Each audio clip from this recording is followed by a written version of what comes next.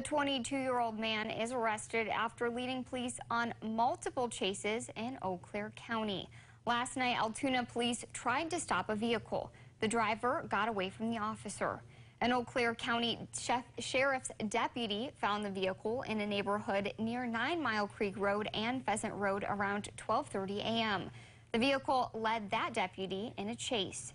During the pursuit, a tire deflation device was used. The driver crashed a short time later, but was still able to drive off. In Fall Creek, the suspect, identified as Kevin Hayes of Eau Claire, left the vehicle and ran on foot. Police later found Hayes around 4.30 a.m. at a home near Altoona.